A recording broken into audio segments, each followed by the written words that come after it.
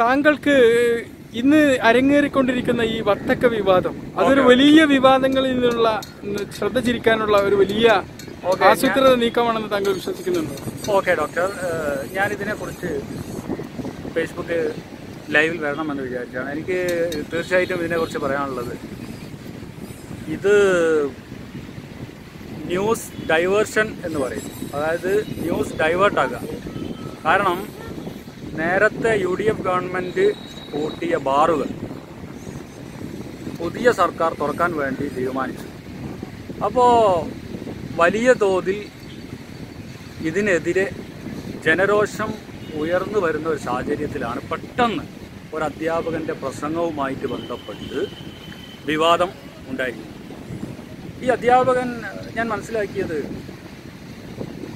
ഒരു തികച്ചും സ്വകാര്യമായ ഒരു ചടങ്ങിൽ വെച്ച് പ്രസംഗിച്ച കാര്യമാണ്. ഏതൊരു മുസ്ലിം മതസംഘടനാ വേദികളിലും പ്രസംഗിക്കുന്ന ഒരു പ്രസംഗത്തിന് അപ്പുറം അദ്ദേഹം പ്രസംഗിച്ചതായിട്ട് തോന്നുന്നില്ല എന്ന് താങ്കൾ വിശ്വസിക്കുന്നുണ്ടോ?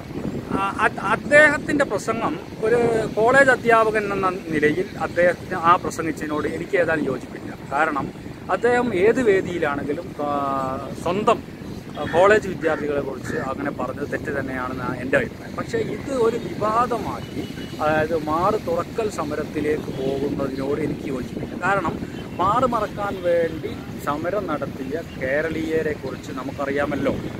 നമ്മൾ നേരത്തെ ഇവിടെയുള്ള സാംസ്കാരിക പ്രവർത്തകരൊക്കെ ഇടപെട്ട് മാറ് മറക്കാനുള്ള സമരം നടത്തുകയും അങ്ങനെ പണ്ട് ജന്മിമാരിൽ നിന്നും മറ്റും ആ സ്വാതന്ത്ര്യം നേടിയെടുക്കുകയും ചെയ്ത. ഇപ്പോൾ മാറ് തുറക്കണം ജർമ്മൻ അതുപോലെ തന്നെ റഷ്യൻ മോഡലിലൊക്കെ ഞങ്ങൾക്കും അതേപോലെ തുറന്നു നടക്കണം എന്ന് ഒരു കൂട്ടർ ഫേസ്ബുക്കിലൊക്കെ നമ്മൾ ഫേസ്ബുക്കിലൊക്കെ നമ്മളത് കണ്ടുകൊണ്ടിരിക്കുകയാണ്. അപ്പോൾ ഇങ്ങനെയുള്ള വിവാദങ്ങൾക്ക് കേരളീയ പ്രത്യേകിച്ച് ആ കുട്ടികൾ ലൈവിൽ വന്ന സമയത്ത് പാതിരാത്രി പോലും ഒരുപാട് ആളുകൾ അവർ ഉപദേശിക്കാൻ മറ്റും വന്നു എന്നൊക്കെയാണ് ആ പോസ്റ്റിന്റെ കുട്ടികൾ അതിനെക്കുറിച്ച് പറയുന്നത്. നമ്മളുടെ കേരളീയരുടെ ഇത്തരത്തിലുള്ള ഓരോ കാര്യങ്ങൾ മുതലെടുത്തുകൊണ്ട് പലരും നമ്മുടെ പ്രധാനപ്പെട്ട കാര്യങ്ങളെ അപ്രസക്തമാക്കുന്ന വിധം ഡൈവേർട്ട് ചെയ്യുന്നതിൽ അവർ വിജയിക്കുകയാണ്. കാരണം ഉദാഹരണത്തിന് ഈ മധ്യ ഓരോരോ സ്ഥലത്തും ബാറുകൾ തുറന്നു കഴിഞ്ഞു.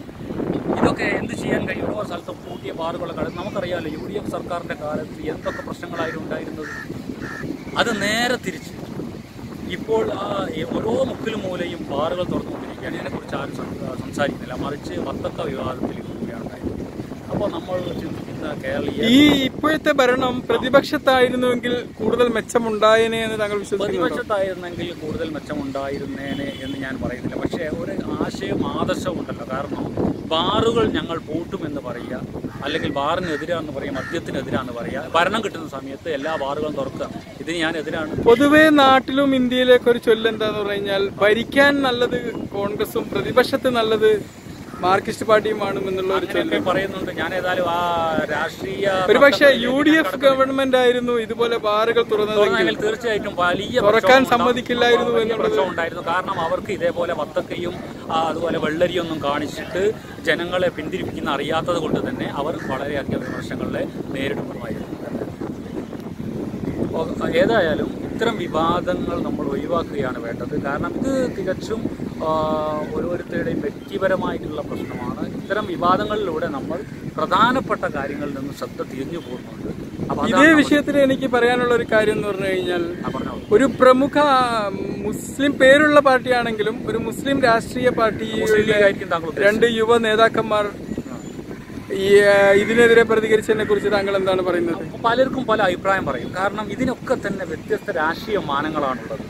ഓരോരുത്തരും സംസാരിക്കുന്ന അവരുടെ മുതലെടുപ്പിന് വേണ്ടി രണ്ട് വോട്ടിന് വേണ്ടിയൊക്കെയാണ്. പക്ഷേ അതിൽ നമ്മൾ ഓരോ പെട്ടിക്കട പോലെ ബാറുകൾ തുറക്കുന്നതും അതുപോലെ തന്നെ പ്രധാനപ്പെട്ട കാര്യങ്ങളും ഗെയിൽ പൈപ്പ് ലൈൻ ഇങ്ങനത്തെ അതുപോലെ തന്നെ കൊലപാതക രാഷ്ട്രീയം ഇതൊക്കെ തന്നെ ഇങ്ങനത്തെ ചർച്ചകളിൽ മാഞ്ഞു പോവുകയാണ് ചെയ്യുന്നത്.